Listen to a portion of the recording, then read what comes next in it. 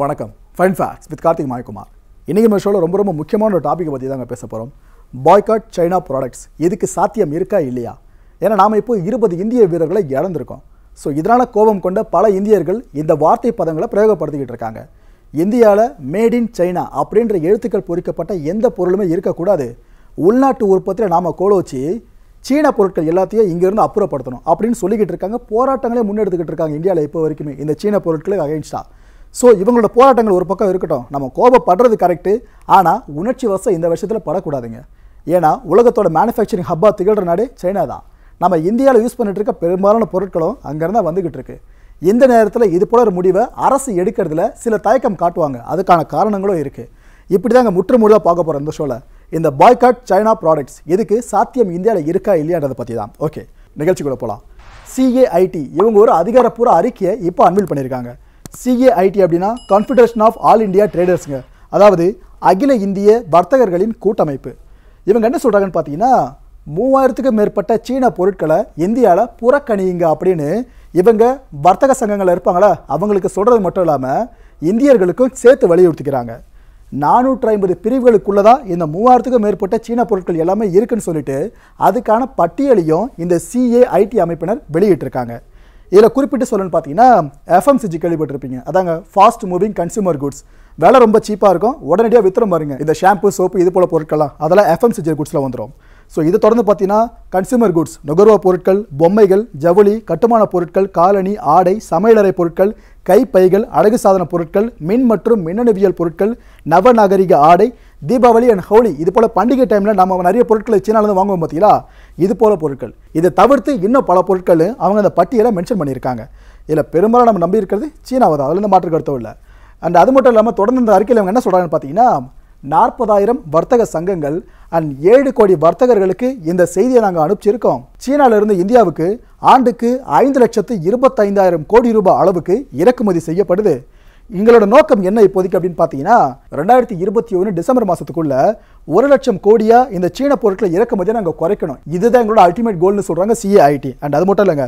இப்போ சொன்னாங்க பார்த்தீங்கன்னா அறிக்கையில் இது எல்லா விஷயங்களையும் மத்திய வர்த்தகத்துறை அமைச்சர் பியூஷ் கோயல் அவர்கிட்டயும் தெரிவிச்சிருக்கோம் அப்படின்ற விஷயத்தவங்க முன் வச்சிருக்காங்க. ஓகே இந்தியா சீனா ஏற்றுமதி இறக்குமதி. இதை பற்றின ஒரு அஃபிஷியல் ஸ்டாட்ஸை பார்த்துலாங்க ஏன்னா நம்ம வாய் வார்த்தையாக சொல்லிடலாம். அவங்களும் சொல்லிட்டாங்க வியாபாரிகளும். ஆனால் எந்த அளவு சாத்தியம் இருக்குது அதை பற்றி தொடர்ந்து பார்க்கலாம். இந்தியா சீனா ஏற்றுமதி இறக்குமதி வர்த்தகம் ரெண்டாயிரத்தி பதினெட்டு பத்தொன்பது. இந்த காலகட்டத்தை பேஸ் பண்ணி பார்த்தீங்கன்னா முதல்ல ஏற்றுமதி எடுத்துக்கிட்டீங்க அப்படின்னா ஒன்று புள்ளி ஒன்று ஏழு லட்சம் கோடி ரூபாய் சீனா கிட்ட இருந்து இந்தியாவுக்கு வருவாயாக கிடைக்குதுங்க இந்த ஏற்றுமதி மூலமாக நாம் சீனாவுக்கு ஏற்றுமதி பண்ணுறோம் ஏற்றுமதியில் இந்தியாவோட மொத்த பங்களிப்பு எவ்வளோ அப்படின்னு பார்த்தீங்கன்னா ஐந்து புள்ளி பூஜ்ஜியம் எட்டு சதவீதம். சீனாக்கு நாம் ஏற்றுமதி பண்ணுறோம் பார்த்தீங்களா அதோட பங்களிப்பு. இறக்குமதி. இதில் பார்த்தீங்கன்னா நான்கு புள்ளி ஒன்பது ரெண்டு லட்சம் கோடி ரூபாய் இந்தியா கிட்ட இருந்து சீனாக்கு கிடைக்குது. வருவாயா? இந்தியாவில் இறக்குமதி செய்கிறதோட சீனாவோட மொத்த பங்களிப்பு எவ்வளோ தெரியுமா? பதிமூன்று புள்ளி ஆறு ஒன்பது சதவிகிதம். நம்மளோட ஏற்றுமதி பாருங்கள் ஐந்து புள்ளி ஜீரோ எட்டு சதவீதம் மட்டும்தான். அப்படியே சீனாவோட இறக்குமதி பங்களிப்பு இருக்குல்ல இந்தியாவில் இறக்குமதி பண்ணுறாங்களே இதோட மதிப்பு பாருங்கள் பதிமூன்று புள்ளி ஆறு ஒன்பது சதவிகிதம். ஓகே. மொத்த வர்த்தக மதிப்பு இப்போ சொன்ன பார்த்தீங்களா இந்த ஏற்றுமதி இறக்குமதி ரெண்டுத்தையுமே கூட்டினீங்கன்னா உங்களுக்கு கிடைக்கிற அமௌண்ட் ஆறு புள்ளி பூஜ்ஜியம் ஒன்பது லட்சம் கோடி ரூபாய் இது என்ன இண்டிகேட் பண்ணுது அப்படின்னு பார்த்தீங்கன்னா இந்த ஏற்றுமதி அமௌண்ட் இருக்குல்லங்க one point one seven lakh crore இதை இந்த சீனாவோட இறக்குமதி விகிதம் இருக்கு பாருங்க இந்த four point nine two lakh க்ரோர்னு சொல்லிட்டு இது கூட மைனஸ் பண்ணினா உங்களுக்கு கிடைக்கிற amount three point seven five lakh க்ரோருங்க மூன்று புள்ளி ஏழு ஐந்து லட்சம் கோடி ரூபாய் அதாவது இதோட ரிசல்ட் நெகட்டிவ் தான் இந்தியா பொறுத்த வரைக்கும்.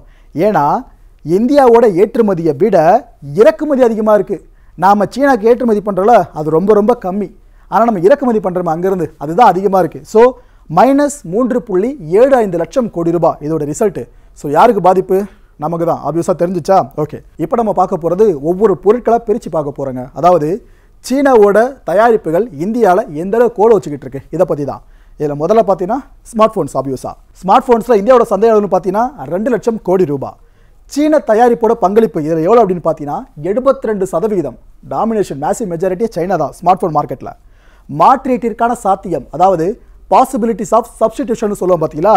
இதுக்கான பாசிபிலிட்டி பார்த்தீங்கன்னா இந்தியாவில் ரொம்ப ரொம்ப ரொம்ப கஷ்டம். இதான் உண்மை. அதாவது இந்த ஸ்மார்ட் ஃபோன்ஸ் எல்லாத்தையும் சீன ஸ்மார்ட் ஃபோன்ஸ் எல்லாத்தையும் இந்தியாவிலேருந்து வெளியேற்றிட்டு நாம் இங்கே உள்நாட்டில் அதிகமான நல்ல திறம்பட மலிவான விலையில் ஒர்க் நல்லா பண்ணுற ஸ்மார்ட் ஃபோன்ஸை உற்பத்தி பண்ண முடியுமான்னு கேட்டிங்கன்னா அதுக்கு தான் நான் கடினம்னு சொல்கிறேன் பாசிபிலிட்டிஸ் ஆஃப் சப்ஸ்டிடியூஷன் சீனாவுக்கு மாற்றா நம்மளால பொருளை இங்க அதே அளவு உற்பத்தி பண்ண முடியுமான்னு சொல்லிட்டு. ஏன்னா seventy two percentage massive majority நான் அதுக்காக தான் சொன்னேன் கஷ்டம்னு சொல்லிட்டு.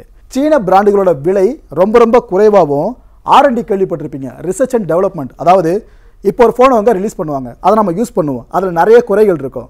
சைனா அடுத்த ஃபோனை ரெடி பண்ணும்போது இந்த குறைகள் எதுவுமே இல்லாமல் பார்த்துப்பாங்க. இதுக்கான ரிசர்ச் பண்ணுறாங்களே இந்த டெவலப்மெண்ட்டுக்கான ரிசர்ச் இதில் சீனா டாமினண்ட்டாக இருக்காங்க. அதனால தான் சைனாவோட பிராண்ட் எல்லாமே ஸ்மார்ட் ஃபோனில் கோல வச்சுக்கிட்டு இருக்கு இந்தியாவில் ஸோ இந்த விலை குறைவாக இருக்கிறது திறமையாக செயல்படுறது இந்த ரெண்டு விஷயங்களும் ஒருங்கே சங்கமிக்கிறதால தான் சைனா இந்தியாவோட ஸ்மார்ட் ஃபோன் மார்க்கெட்டில் கோல வச்சுக்கிட்டு இருக்காங்க. ஆக்சுவலாக இவங்களோட ஃபோன் பிராண்ட்ஸை பற்றி சொல்லணும்னா நிறைய இருக்குங்க. நீங்கள் யூஸ் பண்ணுற ஃபோனை கூட இந்த பட்டியலில் வரலாம். அதில் குறிப்பிட்டு சொல்லணும்னா ஹயராக இருக்கட்டும் Honor Huawei Lenovo one plus Oppo Realme TCL corporation Tecno mobile Vivo Xiaomi and ZTE okay தொலைத்தொடர்பு உபகரணங்கள் டெலிகாம் எக்யூப்மெண்ட் இந்த செக்ரிகேஷனை எடுத்துக்கிட்டிங்கன்னா இதோட சந்தை அளவு பன்னெண்டாயிரம் கோடி ரூபாய். இதில் சீன தயாரிப்பு பொருட்கள் இருக்குல்ல இதோட பங்களிப்பு மட்டுமே இருபத்தைந்து சதவிகிதம். மாற்றீட்டிற்கான சாத்தியம் இந்த பாசிபிலிட்டி ஆஃப் சப்ஸ்டியூஷன் எடுத்துக்கிட்டிங்கன்னா செய்யக்கூடியதான் இதில் நாம் கொஞ்சம் மேலே வரலாம் சீனா பொருட்களை வெளியே அமிச்சிட்டு. ஆனால் இதுக்கான விலையை நாம் கொஞ்சம் அதிகப்படியாக கொடுக்க வேண்டியது இருக்கும். அப்படி கொடுத்தா மட்டும்தான் சீனாவை இந்த விஷயத்தில் நாம் ஓவர்டேக் பண்ண முடியுங்க. ஓகே அடுத்ததாக தொலைக்காட்சி டெலிவிஷன் இதோட சந்தை அளவு பார்த்தீங்கன்னா இந்தியாவில் இருபத்தஞ்சாயிரம் கோடி ரூபாய். சீன தயாரிப்புகளோட பங்களிப்பு இந்த ஸ்மார்ட் டிவி எடுத்துக்கிட்டிங்கன்னா நாற்பத்தி ரெண்டு சதவீதத்தில் இருந்து நாற்பத்தைந்து சதவீதம் வரைக்கும். நான் ஸ்மார்ட் டிவிஸ் எடுத்துக்கிட்டிங்கன்னா ஏழுலேருந்து ஒன்பது சதவீதம்ங்க. இதில் மாற்றீட்டிற்கான சாத்தியம்னு பார்த்தீங்கன்னா செய்யலாம். இதில் நாம் சப்ஸ்டியூட் பண்ணலாம். ஆனால் விலை உயரும். போன வாட்டி சொன்ன பார்த்தீங்களா அதே தான் இதுலேயே ஃபீட்பேக்காக இடிக்குது. சீன ஸ்மார்ட் டிவிகளுக்கு மாற்றா வேறு டிவி வாங்குறோம் அப்படின்னா இருபது சதவீதத்தில் இருந்து நாற்பது சதவீதம் வரைக்கும் நாம் விலை அதிகமாக கொடுக்க வேண்டியதாக இருக்கும். இந்த ஒரு மைனஸ் இருக்குது இந்த விஷயத்தில். இதை மட்டும் நம்ம ஓவர் டேக்கல் பண்ணிட்டோம் அப்படின்னா இந்த விஷயத்தில் ரீப்ளேஸ் பண்ணிடலாம். சீன டிவிகள் இல்லாமல் நம்ம இந்தியாவில் உற்பத்தி பண்ணுற டிவிகளை நம்ம பயன்படுத்தலாம். அதுக்கும் சாத்தியங்கள் இருக்குது அடுத்ததா வீட்டு உபகரணங்கள் ஹோம் அப்ளையன்சஸ் இதில் பார்த்தீங்கன்னா இதோட சந்தை அளவு ஐம்பதாயிரம் கோடி ரூபாய். சீன தயாரிப்புகளோட பங்களிப்பு பத்தில் இருந்து பன்னெண்டு சதவிகிதம். இதில் மாற்றீட்டிற்கான சாத்தியம் பார்த்தீங்கன்னா ரொம்ப ரொம்ப ரொம்ப எளிதுன்னு சொல்கிறாங்க ஆக்சுவலாக இது ஏன் ரொம்ப எளிமையானது அப்படின்னு சொல்கிறேன்னு பார்த்தீங்கன்னா சீன பொருட்களோட விலை ஒரு வேலை அதிகரிக்கிறாங்க இந்த ஹோம் அப்ளையன்ஸ்னால் ஆட்டோமேட்டிக்காக உங்களோட ப்ராடக்ட்டோட செல்லிங் கீழே போக ஆரம்பிச்சிடும் அதோட குவாலிட்டியும் குறையுதுன்னா ஆட்டோமேட்டிக் நம்ம மேலே வந்துடலாம். அது மட்டும் இல்லாமல் இந்தியாவில் இந்த ஹோம் அப்ளையன்ஸ் நிறுவனங்கள் நிறைய இருக்குது அதுக்காக தான் சொல்கிறேன் ஆனால் ஒரு விஷயம் எல்லாருமே நோட் பண்ணணும். சீனா இந்த விஷயங்கள் எல்லாத்தையும் மனசில் வச்சுக்கிட்டு அவங்களோட பொருட்கள் விலையை இன்னும் குறைச்சிட்டே போனாங்கன்னா ஆட்டோமேட்டிக்காக இங்கே வாங்குறோட எண்ணிக்கையும் அதிகரிக்க ஆரம்பிச்சிடும் ஸோ இந்த வேலையை அவங்க பண்ணாமல் இருக்கணும். நாம் குவாலிட்டியான பொருளை ரொம்ப கம்மியான விலைக்கு உற்பத்தி பண்ணி கொடுக்கணும். இந்த ரெண்டு விஷயங்கள் நடந்தால் மட்டும்தான் ஹோம் அப்ளைன்ஸ் செக்டரில் நாம் மேலே வர முடியும். அடுத்ததாக வாகன உதிரி பாகங்கள். ஆட்டோ காம்பனன்ட்ஸ்னு சொல்லுவோம் பார்த்தீங்களா இதில் சந்தை அளவு இந்த மார்க்கெட்டோட ஒட்டுமொத்த வேல்யூ பார்த்தீங்கன்னா நாற்பத்தி மூன்று புள்ளி ஒன்று லட்சம் கோடி ரூபாங்க. நம்ம சொன்ன பட்டியலில் அதிகப்படியான தொகை இங்கே தான் ஒதுங்குது. சீன தயாரிப்புகளோட பங்களிப்பு மட்டுமே இதில் இருபத்தி ஆறு சதவிகிதம். இதில் மாற்றிட்டதற்கான சாத்தியம்னு பார்த்தீங்கன்னா ரொம்ப ரொம்ப ரொம்ப கஷ்டம். ஏன்னா நிறைய ஆட்டோமொபைல் உதிரி பாகங்களை பார்த்தீங்கன்னா அந்த பொருட்களுக்கு பின்னாடி மேட் இன் சைனா தான் இருக்கும். ஸோ அதனால தான் சொல்கிறேன் இந்தியாவில் இதுக்கு ரிப்ளேஸ்மெண்ட் கொண்டு வர்றது சைனாக்கு பதிலாக ரொம்ப கஷ்டங்க. அடுத்ததா இணைய செயலிகள் இன்டர்நெட் ஆப்ஸ் இருக்குல்ல இதில் இவங்க தான் வழக்கம் போல் டாமினன்ட் சந்தை அளவு பார்த்தீங்கன்னா நாற்பத்தைந்து கோடி ஸ்மார்ட் ஃபோன் யூசர்ஸ் இந்தியாவில் மட்டுமே. சீன தயாரிப்புகளோட பங்களிப்பு எவ்வளோன்னு பார்த்தீங்கன்னா அறுபத்தி ஆறு சதவீதம் இந்தியர்களில் குறைஞ்சது ஒரு சைனீஸ் ஆப்பையாவது அவங்க ஃபோனில் வச்சிருக்காங்களாம். ஓகேவா அறுபத்தி ஆறு சதவீதம் இந்தியர்களில். இதில் மாற்றீட்டிற்கான சாத்தியம்னு பார்த்தீங்கன்னா ஈஸி ரொம்ப ரொம்ப ரொம்ப ஈஸி இந்த விஷயத்தில். இந்திய செயலி டெவலப்பர் இருக்காங்களா? இந்த ஆப் டெவலப் பண்ணுவாங்களே. இவங்க நல்ல நல்ல ஆப்ஸை உருவாக்கி வெளியிடுறாங்க அப்படின்னா இதில் ஈஸியாக நம்ம சைனாவை ரீப்ளேஸ் பண்ணிடலாம். அடுத்ததாக சூரிய ஆற்றல் சோலார் பவர் இதில் சந்தை அளவு பார்த்தீங்கன்னா முப்பத்தி ஏழாயிரத்தி தொள்ளாயிரத்தி பதினாறு மெகாவாட் சீன தயாரிப்புகளோட பங்களிப்பு தொண்ணூறு சதவீதம். மேசிவ் மெஜாரிட்டி வெறும் பத்து சதவீதம் மட்டும் தான் இந்தியாவில் நம்ம சோலார் பவர் நம்பிட்டு இருக்கோம். ஆனால் சைனா ஃபியூச்சரை கரெக்டாக ப்ரெடிக்ட் பண்ணியிருக்காங்களா? இதில் மாற்றீட்டிற்கான சாத்தியம்னு பார்த்தீங்கன்னா வாய்ப்பே இல்லை. துளியும் வாய்ப்பு கிடையாது. இந்தியர்கள் நாம் எப்போ சூரிய நோக்கி அதிகப்படியாக போகிறோமோ அப்போ மட்டும் தான் சைனாவை இந்த சோலார் பவர் விஷயத்தில் பீட் பண்ண முடியும். அடுத்ததாக எஃகு ஸ்டீல் இதில் சந்தை அளவு நூற்றி எட்டு புள்ளி ஐந்து மெட்ரிக் டன் இதில் சீன தயாரிப்புகளோட பங்களிப்பு மட்டுமே பதினெட்டு சதவீதத்தில் இருந்து இருபது சதவீதம் வரைக்கும். இதில் மாற்றீட்டிற்கான சாத்தியம்னு பார்த்தீங்கன்னா செய்யக்கூடியதான் பண்ணலாம். ஆனால் கொஞ்சம் கஷ்டம். அவ்வளோதான் அடுத்ததா மருந்து. இந்த ஃபார்மா இதை இந்த ஏபிஐன்னு சொல்லுவாங்க. ஆக்டிவ் ஃபார்மசூட்டிக்கல் இன்கிரீடியன்ஸ்னு சொல்லிட்டு. இதில் சந்தையில் பார்த்தீங்கன்னா ஒட்டுமொத்த ப்ராடக்ட் ஒன்று புள்ளி ஐந்து லட்சம் கோடி. சீன தயாரிப்புகளோட பங்களிப்பு மட்டுமே அறுபது சதவீதம். இதுவும் மெஜாரிட்டி ரீச் பண்ணிடுச்சா? இதில் மாற்றிட்டுக்கான சாத்தியம்னு பார்த்தீங்கன்னா கஷ்டம். அதுதான் உண்மை.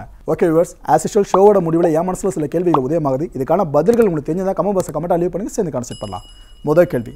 தற்போதைய சூழலில் சீன பொருட்களை நம்மால் எந்த அளவு புறக்கணிக்க முடியும் நீங்கள் நினைக்கிறீங்க? ரெண்டாவது கேள்வி சீன பொருட்களை புறக்கணிக்கிறது சரியான முடிவாக இருக்குமா இருக்காதா? ஏன்?